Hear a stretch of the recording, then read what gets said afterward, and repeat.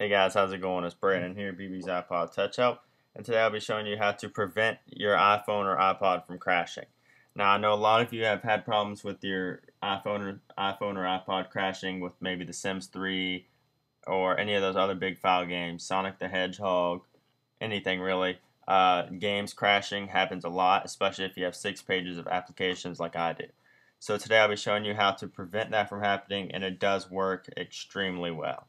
Now you're going to need a jailbroken iPhone or iPod Touch, and you want to go want to go to Cydia and search swap mode. And I'll just give you I'll just tell you what this says. It says normal and game mode toggle. Game mode, turn off background services and springboard extensions such as SB settings, iHome, etc.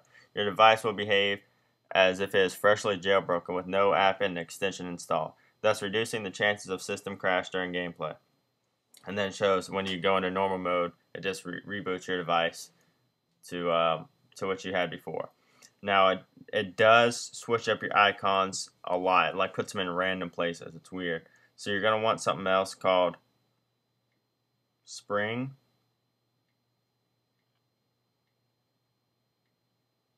And if you didn't have that last one, it is from the iSpazio, iSpazio source. And if you don't have that, then um, it should come pre-installed on your iPhone or iPod Touch, but just but just uh, message me or leave a comment if you have a problem finding it.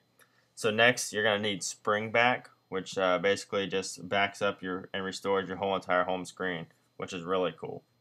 So after you have those two downloaded and installed, go back to your home screen, and you will see right now I am actually in the swap mode. This is actually what it looks like, default like this.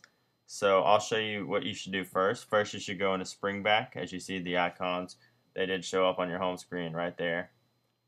So you're just going to want to open up Springback. Open it up. Oops. And up in the top right, you're going to hit Backup. And you can name it whatever you want. Just put, do you want to give it a name? Sure. I'll just put blah, blah, blah. And then you could also delete it if you want. I only use mine, so I delete all the other ones. So that's really cool that you can do that. After you've backed it up, you're going to want to go into swap mode. And you're going to click game mode on, as I have right now. If you turn it off, then on, then it will restart your, your device. So just go out of that.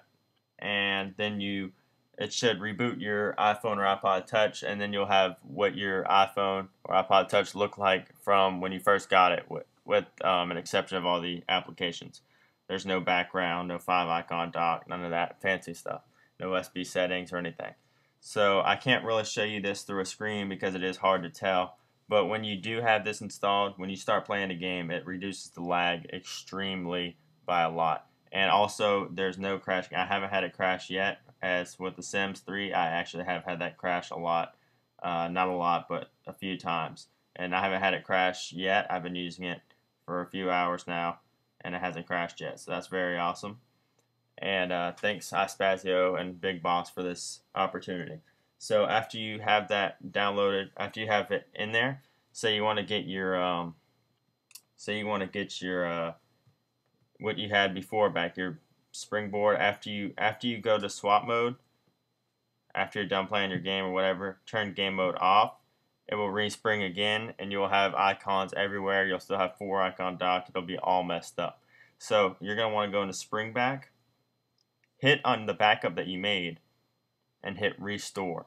It's not going to restore your iPhone or iPod don't worry. It's just going to restore your springboard. None of your applications none of the real restore like in iTunes so just hit restore home button and you'll have what you had before. So that's really awesome, guys. Uh, this is a great, great application, great extension that they added onto here. And it does work with any game. It works with any application installed on your iPhone or iPod Touch. So thanks for watching, guys. I will catch you guys later. Please rate, comment, subscribe. Check out my new channel that I just made. Link in the description.